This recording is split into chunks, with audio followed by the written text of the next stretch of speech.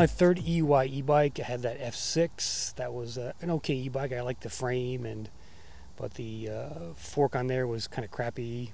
Um, then I had the EUY S4, a thousand watt e-moped style on the channel.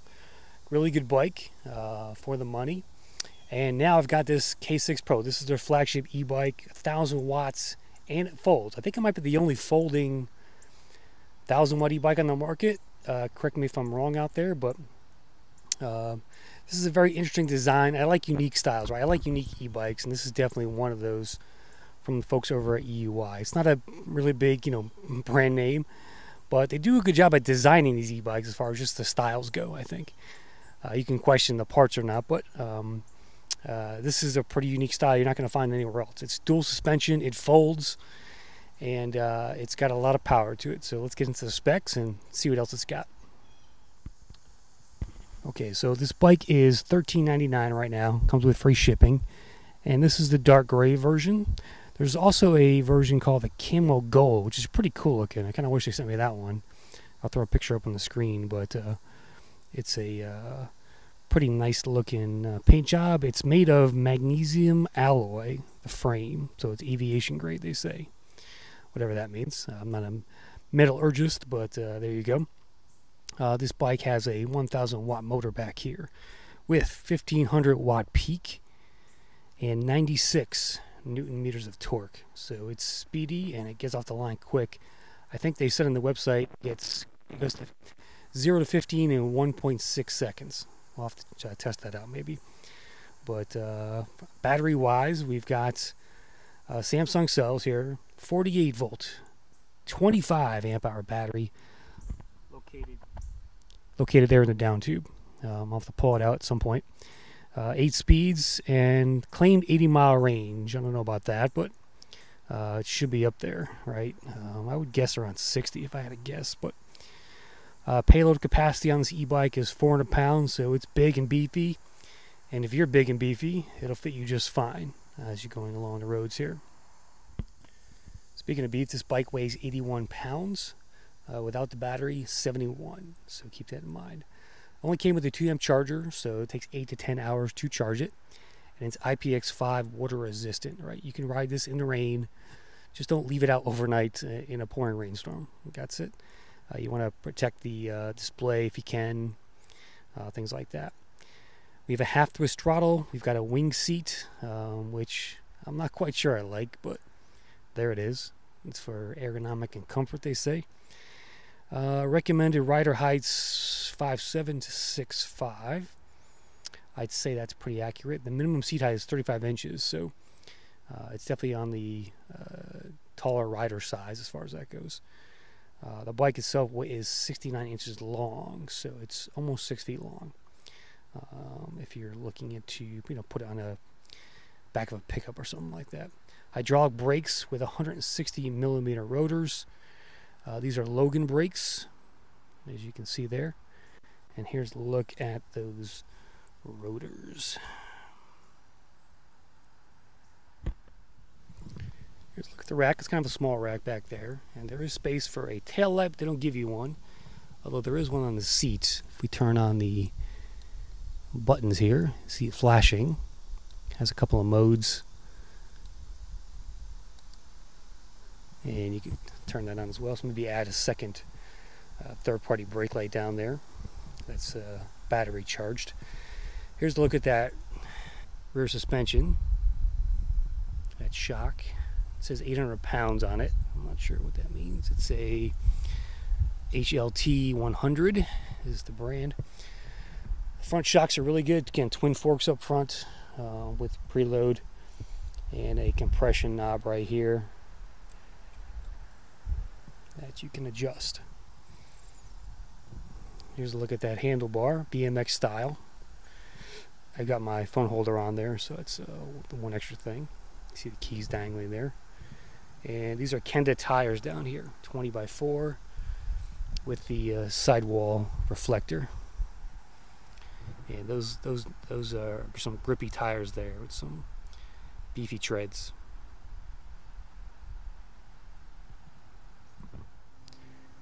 All right, here's a look at the cockpit.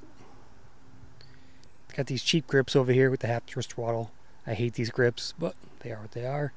Eight speed, uh, eight speed micro shifter here. Your hydraulic brakes. Here's the display. Uh, very similar to the Hemingway display, if you've seen those. Um, trip. Say info, odometer, time, max, average. That's it. That's what you get. Get battery bars for that stuff for the uh, percentages. You have your wattage out here. Um, one note: this bike only peaks at like 550 watts. Uh, at least that's, that's as much as I've gotten out of it. Even though I'm hitting 28 miles an hour, it's only showing 550 watts on the screen. That's the most I've ever gotten so far in these first 20 miles. So I asked them why that is. They didn't give me a good answer. But I was expected to peak, you know, over a thousand going up hills, things like that. I've yet to crack 550 on this thing, so I'm not sure why that is. On the left-hand side, you've got your uh, your uh, grip. You've got a uh, light and then the horn. Pretty loud, and your control pad, of course. Plus and minus. I don't know why there's a second light on here. Um, power button and info. So here's the headlight on the K6F. Uh, it's got daytime running lamps um, plus a headlight. So I'll hit the switch here on the headlight, and you can see there. I'll do a night shot as well so you can get a feel for how it looks at night. But it looks to be a pretty powerful light um, with daytime running lamps. Pretty cool. Okay, to uh, to fold this bike, you're gonna basically unscrew the little knob at the bottom of the bike here, as you see me doing. It literally just unscrews and then it tightens up when you want to fold it back in. So after several uh, twists there, I was able to loosen it up. You can see how quickly or easily the bike just folds like a taco. And uh, you can also fold the pedals down as well. Make sure you do that. The handlebars are not foldable, so you can't do that. But uh, yeah, here, here it is, just folding up. It's a heavy bike, so keep that in mind. Um, it doesn't really fold into a small package, I would say. It's still pretty big, but it is, you know, you're basically folding it in half uh, to store it somewhere a little more easily. So it's not that great of a space saver because it is still a big bike, but um, there you go. That's what it looks like. Folded up and collapse on itself essentially. So um, yeah, there you go. Thank you.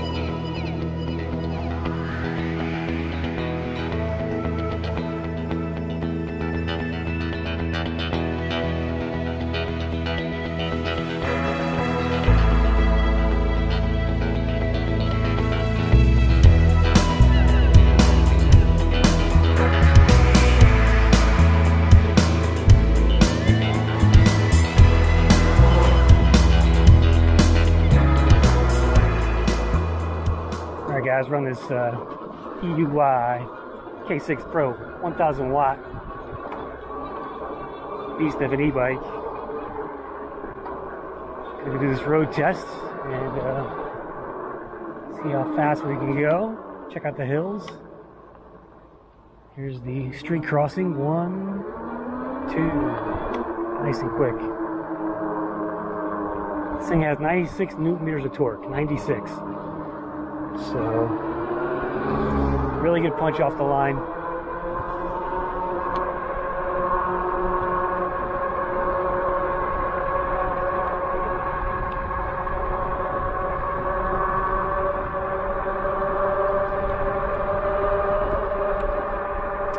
Speed's off by about one.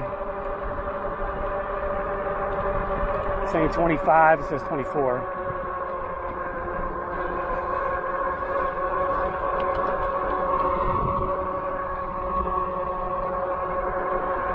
It does around the corners here. Nice. It's got those Kenda tires on there with those big treads.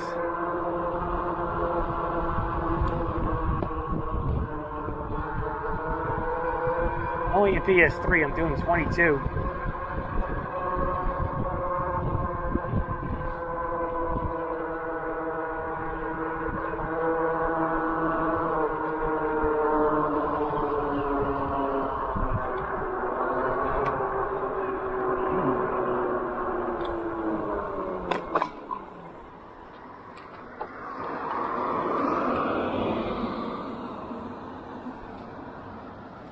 I sit up high in this e-bike, so the handlebars are a little bit lower.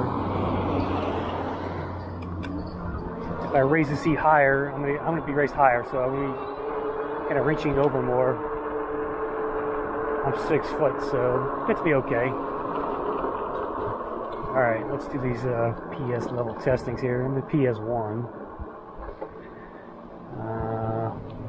I'm zero. So there's PS1. Little bump there.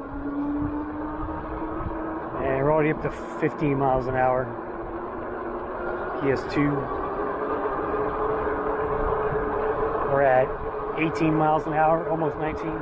PS3. 22. PS4. We're at 24.5. PS5. Let's turn the corner here. No cars coming. All right, here we go. PS5.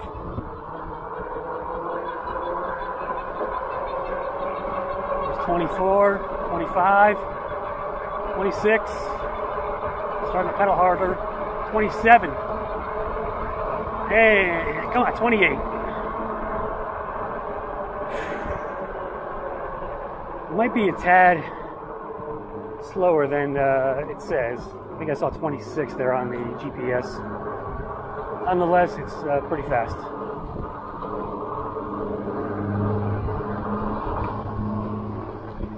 This seat's a bit weird, this wing seat they give you. Uh, I'd recommend just a nice fat wide seat on this e-bike.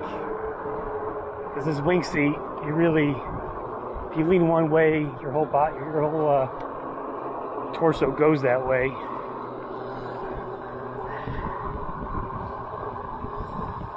This bike has pretty good balance. No hands.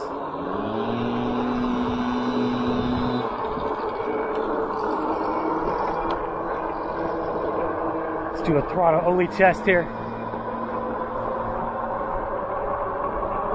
There's 25, 26, 27, and 28. Come on, 28.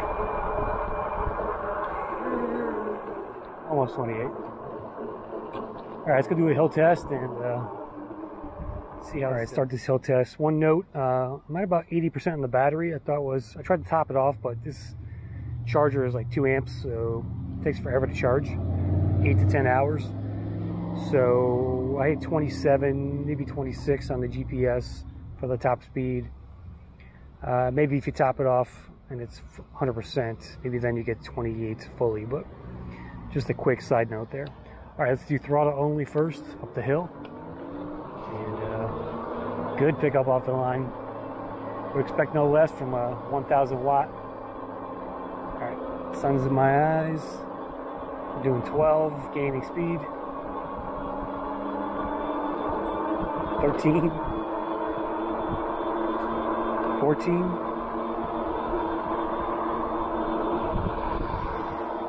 We're going to do that extra extra steep hill as well up here. So three levels. That was the first part of the hill, but 80% grade. Up here is 10%, and then there's a uh, I think it's 12% grade.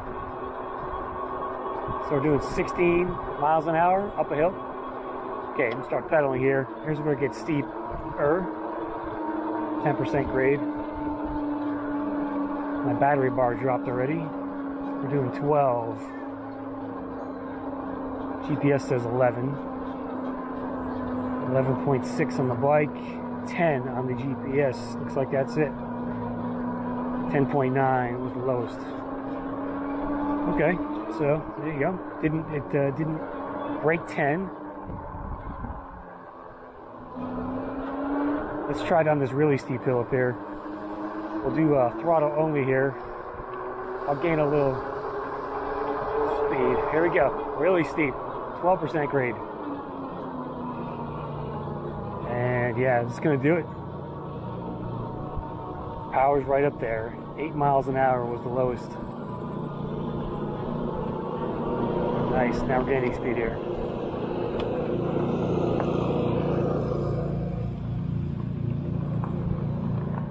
Uh, still a little downhill coast. Test out the brakes. And this bike is 81 pounds, so it's hefty.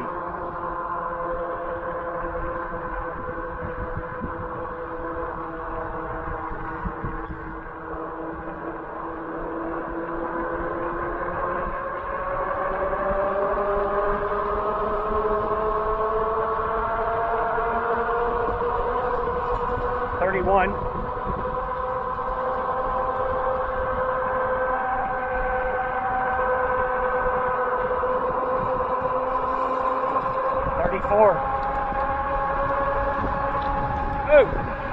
Does brakes. Yeah, nice controlled stop. Very nice. All right, there's the K6 Pro from uh, EUY Bike. Again, not a brand name, but uh, pretty unique in the market for what they're giving you here. Uh, I don't have a, a, whole ton of complaints about it. I mean, the seat is not for me. This is a really weird seat. You can see how flexible this this seat is. Um, they don't give you a tail light. I mean, most tail lights suck anyway, so it's not really a big issue. It does have a USB port right here as well. Uh, many times when I use those things, they don't work with my iPhone for some reason. So I don't know if that, I haven't tried mine yet in there, but uh, you just need to get a USB cable. Uh, you buy like a short one on Amazon and try it out. Um, you know, the weight is an issue. It's 81 pounds. I don't like heavy bikes, but um, you know, not whole, you know, it's a massive battery in there, 25 amp hours. Uh, I don't like the charger, it's only a 2 amp charger. It takes 8 to 10 hours to get this thing to full. That's basically an entire day. Um, and, uh, you know, out of the box, it works great. There was really nothing to complain about. I think the pedals are, they're a little high off the ground. I mean, that chain ring is really a good 10 inches off the ground. So you don't get a the best pedal extension or leg extension for your legs, but other than that, I mean, it folds easy with that little knob down there. And, uh, you know, for $13.99, 1,000 watts, I mean, that's a pretty good price. Um, if you don't want to spend the money on a Kepler or the Wired Freedom, you know, this is a good alternative to that. Um, it's heavier, but uh, has basically all the amenities the, uh, the wire does, except for the speed overall. But um, there you go, EUY K6 Pro. I'll put a link in the description. I am an affiliate, so if you do purchase one, help out the channel. I'll make a small commission. Don't care which e-bike you buy, just use my links. Help out, help support the channel there, guys. Um, but what do you guys think about this K6 Pro? Throw a, throw a comment on there. Let me know your thoughts. Um, again, very unique on the market and uh, can't wait to see what EUY comes up with next. So that's it for now. See you in the next Chris Crossed.